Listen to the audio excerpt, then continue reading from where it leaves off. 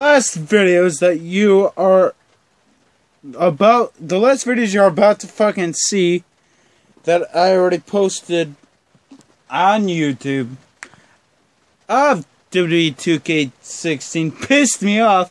I almost broke the tablet. And it's pretty fucking broken, so I'm done with that game. For now. Until I fucking calm down. I can't fucking control myself. The game's bullshit.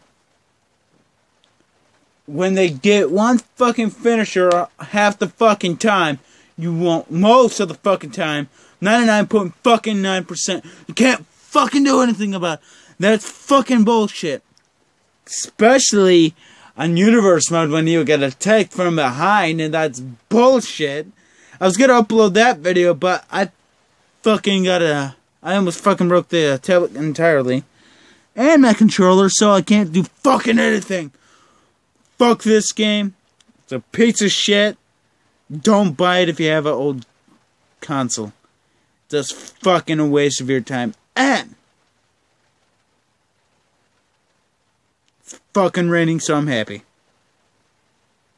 You can't hear it, but it's fucking raining. Time to go skinny dipping. Bye.